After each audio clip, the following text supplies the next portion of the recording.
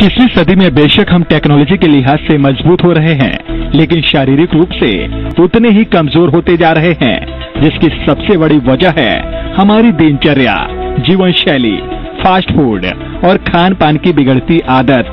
Diabetes बार बार alarm बजा रही है। डायबिटीज़ न केवल देश, बल्कि पूरी दुनिया के लिए खतरनाक बीमारी के रूप में उभर रही है।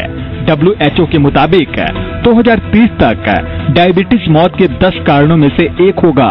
हमारा मकसद आपको डराना नहीं, बल्कि आगाह करना है। केंद्र सरकार की clinical anthropometric and biochemical survey report 2015 के चौंकाने वाले आंकड़े सामने आए हैं। राजस्थान में 100 में से औसतन 9.5 लोग प्री डायबिटीज़ और डायबिटीज़ के रोगी हैं, जबकि चिकित्सा मंत्री राजेंद्र राठौड़ का गृह जिला चूरू इक्कीसवें पायदान पर है। चूरू की करीब साढ़े बाईस लाख की जनसंख्या में से एक लाख पचासी हज़ार लोगों को डायबिटीज़ की समस्या है। हालाँकि रिपोर्ट 18 साल से अधिक उम्र के लोगों की है, जबकि चिकित्सा विभाग के मुताबिक इससे कम उम्र के बच्चों तक में शुगर लेवल ज़्यादा रहा है। अपन लोगों की जो सीडेंटरी जो लाइफ है, जो सीडेंटरी लाइफ स्टाइल है, जिसमें अपन भाग दौड़ भरी ज़िंदगी टेंशन स्ट्रेस ये सारे फैक्टर हैं और अपन जो रूटीन है एक्सरसाइज वगैरह आधा घंटा भी अपन दे नहीं पा रहे।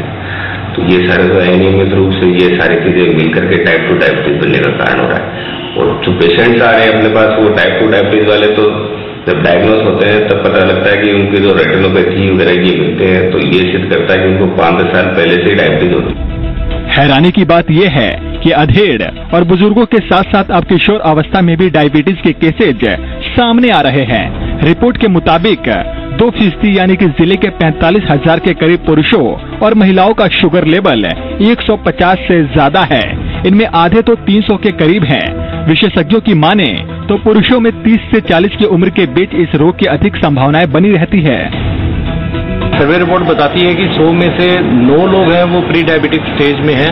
अर्थात जो उनका शुगर लेवल है, वो उस स्टेज में है कि अगर उन्होंने समय रहते अपनी जीवन शैली में बदलाव नहीं किया तो आने वाले समय में वो डायबिटीज़ रोग से ग्रसित हो जाएँगे। अगर चूरू ज़िले की बात करें तो सर्वे रिपोर्ट के अनुसार एक लाख लोग हैं, वो प्री डायबिटिक स्टेज में है।